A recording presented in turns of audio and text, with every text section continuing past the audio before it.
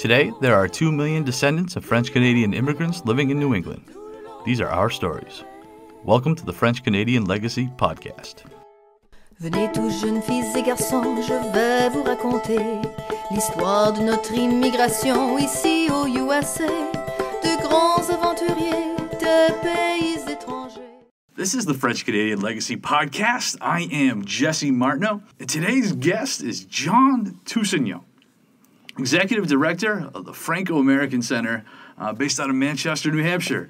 Um, this is really cool for me because I've actually I've said earlier and a bunch of times on this podcast that there does seem to be like a, a rebirth, a re-energizing of the Franco-American population, especially in Manchester. And I think there's a bunch of reasons for this. I, I said before, I think the work of David Vermette has been super important. But if you talk to the people in southern New Hampshire, as far as why there's new excitement, new energy in the Franco American community, the answer you get over and over again is because of the work of John Tousignant. So when we had this podcast, it was absolutely crucial that we get him. So, John, thank you so much for joining us. Well, thank you, Jesse. That's very generous. Now, how did you, first of all, what's your background? Where, where did you grow up? Well, I grew up here in um, Concord, New Hampshire, born in Manchester, grew Okay. up in Concord. Uh, my grandparents from both sides of my family came from Quebec. And uh, so I am a second generation immigrant, and uh, that's what really turned me on to the whole Franco American, French Canadian experience. Sure. Now, did you speak French in the house, like growing up? No, in fact, it was funny. My uh, parents uh, didn't speak any French at all. Really? My, I grandparents didn't know that at all. on both sides spoke French, but uh, when they came down here, like so many families, they Sure. Said, "Gotta learn English to be successful." Of course. And so they really pushed their children to learn English, uh, kind of to the detriment of their French studies. So Sure. when I was uh, 14, I had to choose am I going to take Spanish or am I going to take French? I looked back, I said, well, my heritage, my grandparents, they're French, I should take French. So in a lot of the households, parents would speak in French so the kids wouldn't he- understand what was being said. Of course. Yeah, I think Mike saw some of that growing up. You know, but uh, in my house, I spoke French with my friends, so my parents wouldn't That know what was being said. That is very funny. All right, very cool. So, how did you go from that background then to where you've? I mean, you've worked for a number of different organizations where you've clearly dedicated your life to telling the Franco-American story. Well, there's been a lot of uh, differences. I, when I first uh, went to uh, college, I kind of fell in love with French and the whole Quebec experience. I worked several summers at a uh, camp up in Quebec, and that Okay. really gave me the uh, taste of the French Canadian uh, culture up there. And I? Absolutely loved it. Where was the Where was the camp? Yeah. It was in a place called Sainte Foy, which is uh, just outside of Quebec City. Gotcha. And so that was great. I, I had fallen in love with French and uh, and took it through college. So when I got out of school, I uh, decided to become a French teacher. Yeah. And spent uh, six years at the uh, high school level, one year of middle school. We don't have to talk about middle school. Let's just say God bless anyone who can do middle school teaching. That's awesome. My, that's my mom, in fact. Uh, but I'm curious now because it's interesting because you had the family from Quebec, but I'm guessing the French that you learned in schools we hear is more of the Parisian French. I mean, did you notice a difference when you went and worked back at the camp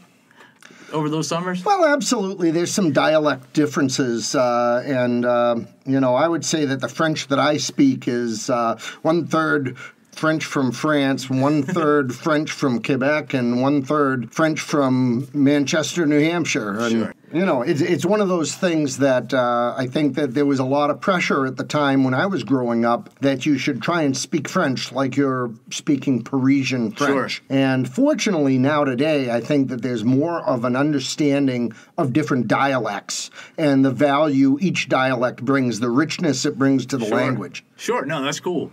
But um, the teachers you had at school were they from Quebec or are they or they like yourself who learned it once they started going to school? Uh, a little of both. I had, I had two great teachers in the Concord school system. One of them was uh, uh, Roland Odette de la Pointe.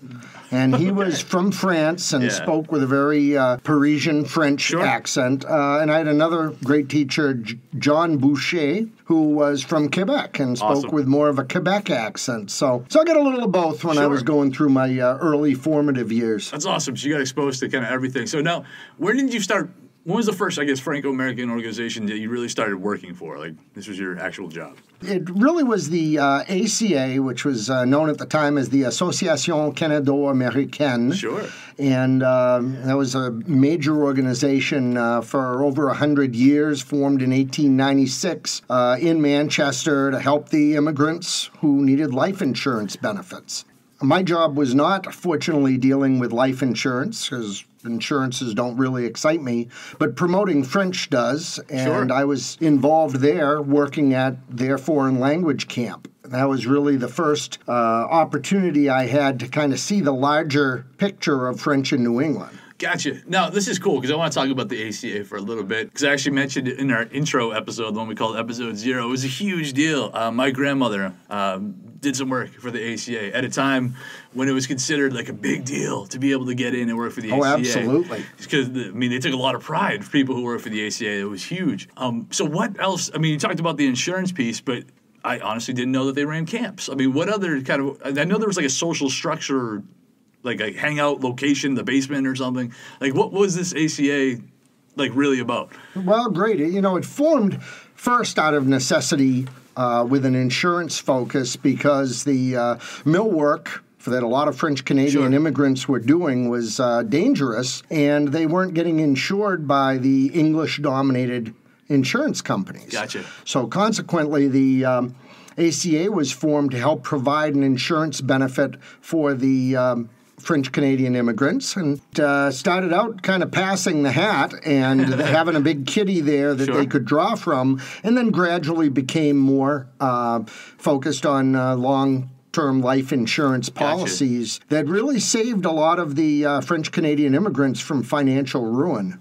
Oh, that's very cool. And but the, but they did have other arms, right? Or did was it just the time you were involved with basically just an insurance kind of company? No, quite the contrary. Uh, the other piece that was related to the um ACA was uh, the fraternal side of Right, the that's right, organization. okay. It was formed as a fraternal benefit society, much like the Knights of Columbus and Gotcha. uh, and a number of other societies, and each has a social mission. And the mission of the uh, so the mission of the ACA was to uh, maintain that connection between families that lived on both sides of the borders and keeping that culture alive down here in New England so that people would still feel their connection to their heritage in Quebec. Interesting. So, did you see a lot of?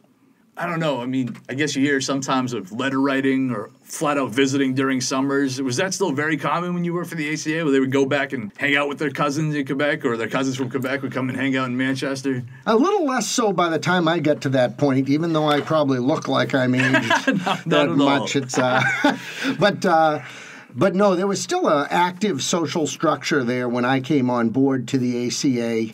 I started in 1989 working at the camps. Sure. But then after doing my career in teaching, I went back to work full time. I was the director of fraternal services, which meant that I oversaw the 46 chapters spread out throughout Eastern Canada and the uh, New England states promoting French culture in their communities. There are 46 chapters of the ACA. Is that Correct. So? Wow. So I, I didn't even realize that the ACA was all over the place. The home office was right in Manchester, as you probably knew. I knew where that was, but I didn't know it was part of a, a bigger organization. Honestly. Uh, yeah, there was uh, all local chapters in their communities, all volunteer run, and uh, they were trying to maintain that connection both linguistically Sure. and culturally in their in their own milieu. That's awesome. Very cool. Now, after you left the ACA, there was still one other step before the Franco American Center is actually not the next organ, the Franco organization. You Well, there are about 20 for. steps, but we won't get into all of them. I know that we've got limited No. time. But what I can say is um, after I left ACA in the mid 2000s, I um, started my own business, Partnership Frontiers. Awesome. And um, what I did with that, again, still using my French, still using my cultural uh, identity, was working with Canadian companies that were exporting into the New England market. Yeah. Uh, primarily in the building products arena, but in other arenas as well. And your, I guess the role of your company was kind of like a almost like a go-between. Was it? Was it to facilitate that process? Is that? Exactly, providing them a little difference in marketing support, providing them a little um, assistance with uh, relationship development, and sometimes the ability to have that French language Sure. that could help smooth over discussions between non English speakers and non French speakers. Gotcha. No, do we still see it? Is that still something that's because you don't again you don't hear that all that much about it. That back and forth of businesses coming to to work over in New Hampshire. Well, it's funny you don't you don't necessarily hear a lot unless you're working in trade There in New go. Hampshire makes sense. because the largest trading partner with New Hampshire is the province of Quebec. That's awesome. Uh, so there's an em- enormous amount of trade uh, going on on both sides of the borders. To say nothing of our tourism industry, Of course. uh, which is which is huge. and I think that hopefully that's another episode we'll get to later on because we're even trying to push that. There's a whole tourism program that we're trying to get For sure. th- throughout New England, which is going to be super neat. All right, so we've got a couple of organizations now. You got the ACA. You've started your own thing working with companies in Quebec. Where do we go from there? I was fortunate that I uh, was uh, involved with the Franco American Center for uh, a number of years. I was a student at the Franco American Center back in the uh, early 1990s. And of course, the center's been around since 1990, so Okay. we're coming up on 30 years uh, of existence and celebrating French in our communities. But um, I came on board back in uh, 2013 as executive director have since been working to continue to keep that culture and that excitement alive. That's awesome. Now, obviously, we're to about about the Franco American Center because it is such a huge deal uh, in Manchester. That's how I ended up getting involved. It's the reason why this podcast exists. So, what is the mission of the Franco American Center? Well, the Franco American Center is promoting French language, culture, and heritage. So if it has something to do with one of those three things, we probably should have a hand in it, or we already do. Uh, that's simply where it's at. Uh, French from Quebec, French from France, French from any of the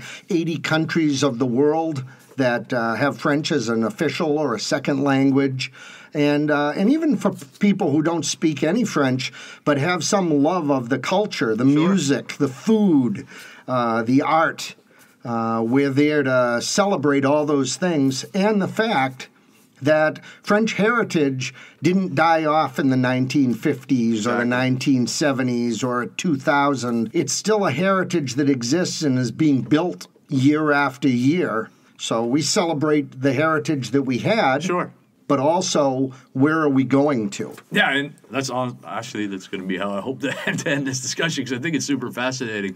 Um, but what kind of events? Like, if somebody wants to get involved with the Franco American Center, what are they getting involved with? What does the Franco American Center do? First of all, I'll say that we're a volunteer based organization. We have one and a half employees. The uh, Franco American Center uh, does activities promoting so many different things that we're always looking for volunteers to help out. Of course, one of the things that uh, we started and you talked about uh, was uh, Fest. Tim Bollier has done a tremendous job there. And of course, with Tim, last year we had 50 volunteers that were involved in that event. We uh, have a Franco American Heritage Day that's going to be coming up. We have a lot of lectures, uh, we have films, we have uh, social events like Mardi Gras and my favorite, Halfway to Mardi Gras, which we do in the summer when you don't have to wear a, a parka to celebrate. but uh, essentially, if it has something to do with our culture, and that means our, the French community globally, then uh, we want to celebrate it and we want to be involved. Sure. And I know that a big piece of what the center does is like an educational side. Because you guys have classes, correct? Absolutely. We have classes for adults and for children at all levels of language learning. Uh, we have a traveler's French class, which is great for people who don't know any French but are thinking about traveling to uh, some other country or French speaking region. And we have camp programs for children in the summer. We have a camp program for um, students that want to learn French, and also since last year, Camp Bienvenue, which is a uh, program focused on helping first generation Francophone immigrants to get more settled and familiar with the Manchester area. Now, this is cool. I do want to touch on this a little bit because I think this is a very, very awesome program that I, again, didn't know about until I got involved with the Franco American Center. Um, for people who may not be super familiar with Manchester, New Hampshire, for years, we've been a refugee settlement place. Correct. So we got all kinds of people coming from all over the world and quite a few come from francophone countries, and because of that, the Franco American Center kind of helps out this population um, and is able to talk to them in their native language, which they may not get somewhere else. So, what does this camp uh, program look like for these kids? Well, it's a it's a really exciting program because we're bringing them out into the community. It, it's uh, three hours a day for a week long program. We start the program off with um, lesson, an introductory lesson. And uh, then we bring them out into the community to visit a place that relates to that lesson. So we've gone to the Palace Theater, the Currier uh, Museum, we've gone to uh, the Fisher Cat Stadium, and other places as well, so that they not only are getting a chance to practice their English. Sure. In their new community, but also getting a chance to know their community and see the resources that are available to them. That's awesome. So, I mean, again, tons of events for people who have interest. Um, you got you got speakers come through there. You talked about Poutine Fest is a huge deal. We get Camp Bienvenue. We get the parties for Mardi Gras, the parties for halfway to Mardi Gras just a ton of events going on in Manchester. Uh, and now, one thing I do want to touch on because um, again, I didn't know until I got involved with the Franco American Center is that again we're a ways away from March now, but March is a big deal for the Franco American Center. So what? Absolutely. And I know your schedule is absolutely nuts come March. So what does March look like uh, for the Franco American Center? Well, March is exciting for us because it's uh, Le Mois International de la Francophonie, International French Month. Uh, that started out uh, a number of years ago as a day, Yep. then it became a week, Sure. and now it's spread out across the entire month with activities, social, cultural events. We've had artists, authors that have come. We've had um, musical performances during that month, and uh, all sorts of uh, academic and social opportunities for people to learn about the various French influences from around the world. And what I think was kind of cool because I was able to uh, go to a couple of these this year is that while that the Franco American Center is the one organization that I've been able to hook up with, we're not alone in New Hampshire. Uh, the couple of events were involving the, the Richelieu Club, which I know you have some interaction with before. Absolutely. The Richelieu Club was founded back in the 1950s. I want to say that uh, Manchester was uh, perhaps the first of the uh, Richelieu clubs in the United States. I'm sure someone will get back to you and Yeah, correct me, but that's not right. We'll hear about but it. Sure. uh, but for sure, um, and the Richelieu Club promoting French and the uh, aid to uh, underprivileged children. Gotcha. So you can't, you can't beat that mission. No, that's awesome. And uh, they still are uh, locally involved in a number of communities. Uh, all of their activities are held in French. Gotcha. But um, but as we saw uh, in Nashua. Uh, this past uh, March, they also welcomed in people that were non French speakers to come to activities that uh, they organized that reached out to promote more the cultural and heritage aspects. And I think that's that's something that would be uh, probably news to a lot of people to know that there are organizations still in Manchester, Nashua, New Hampshire today whose entire business is done in the French language. Like, if you want to go, if you want to participate in one of these meetings, you better bring your French to the table. Absolutely. And that's very cool. All right, now something that I wanted to get allude to early on, because I think you're a really good person to talk to about this. Uh, when we started this podcast, I mentioned that seemingly for a, a long time, uh, the narrative, may have even been the prevailing narrative, was that the French culture is kind of dying in Manchester, because that's where I'm from. That's that's all I know about it. But that it was it was obviously in a state of decline, irreparable state of decline. There's nothing you could do about it. It's just a matter of time. It's not dead. It's at least dying. And I think that narrative is very different now. I think the the excitement that you see in Manchester is completely different. So I guess my question is a couplefold. Well, how did we get to where we are now, and what do you kind of foresee as the kind of the future of what we're trying to do here in the Franco American Center? Uh, what the cultural identity kind of picture will look like going forward?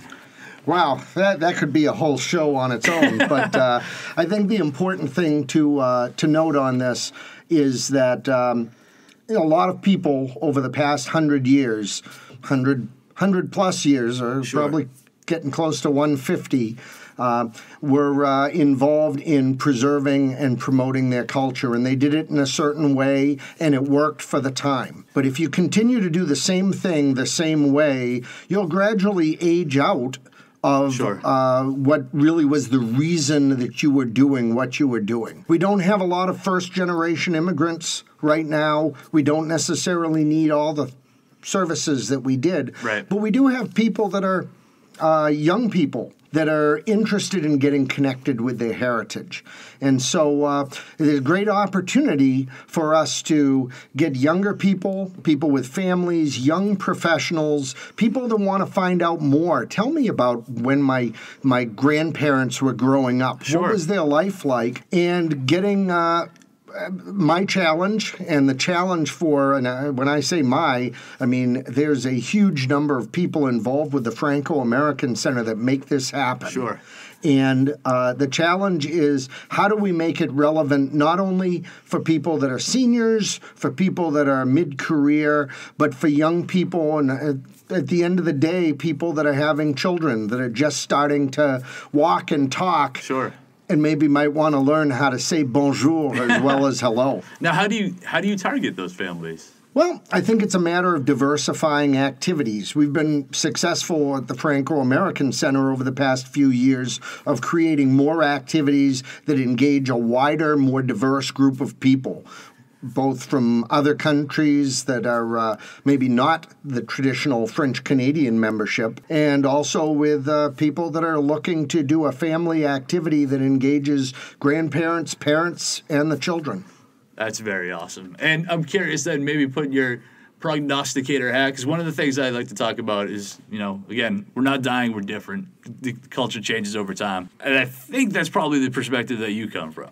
That this is going to, we're going to be changing, but we're still going to be here, still going to be very present. What do you see? 20 years from now, what do you envision the Franco American Center being? Well, there's going to be an increase, of course, in uh, virtual with technology. Sure. I think that we're going to be able to um, to get more connection with other French people, both the French speakers and people who love all things French uh, from around the globe. I mean, as it is now, we find through the magic of Facebook that uh, the Franco American Center is being followed not only by people in the United States, Sure. but from people in Canada, people in France, and, and a variety of other places as well. And uh, so I see that we're going to maybe not be a physical presence as much Sure. as we're going to be uh, a larger, more mobile, more flexible, more nimble organization that can meet needs across geographical areas. Which is awesome. Now, what I'm curious because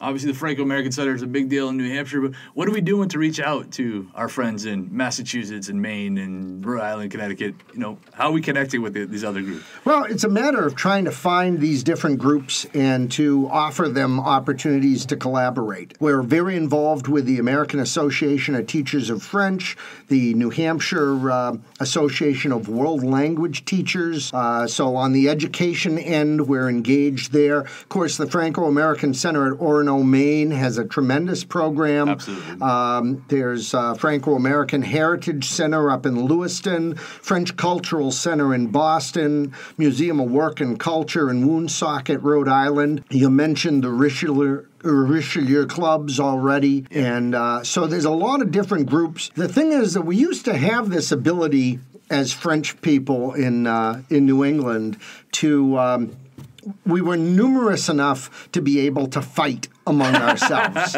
we, uh, there was a great word in French, chicaner. It's a verb and it basically means to quarrel. Gotcha. And uh, les, les Canadiens français aiment chicaner.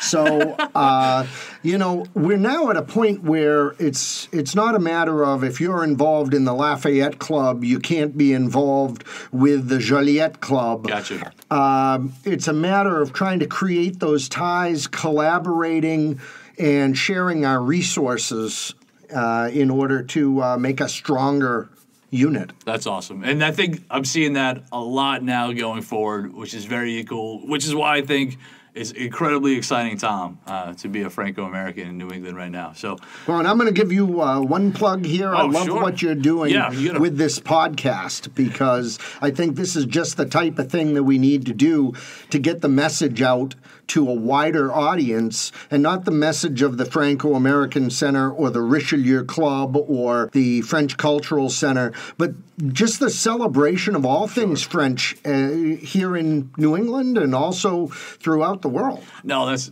thank you. I appreciate that because, like I was saying at the beginning, uh, without your work, I don't know if the Franco American. I know for a fact the Franco American Center is not what it is now. And if the Franco American Center was not what it is now, I don't think I would have ever reconnected uh, with my heritage and background. So obviously, your work is hugely, hugely important to what we're trying to do here. So really, really appreciate that. But before we go, we got to give you an opportunity. Somebody wants to get involved. Franco American Center.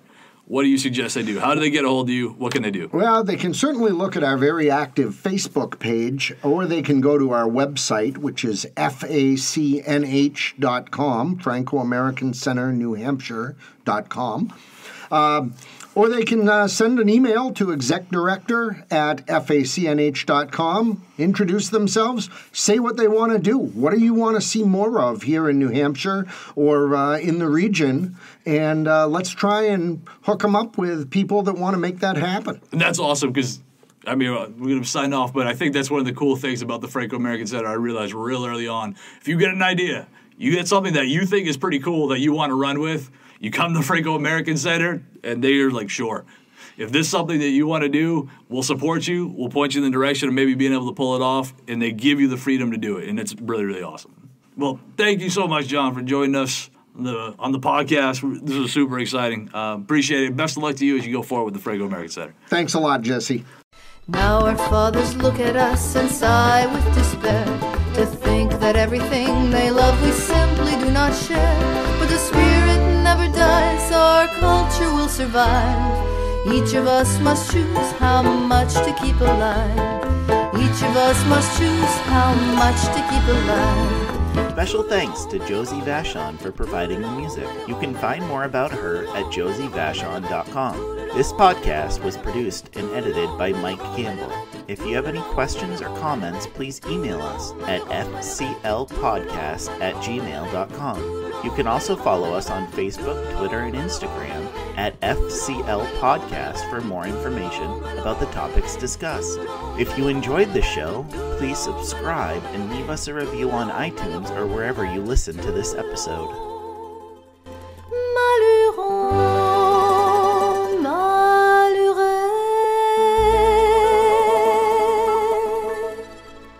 This program is recorded at the Concord TV Podcasting Studio. The views and opinions expressed during this podcast are not necessarily those of Concord TV. The producer is solely responsible for its content.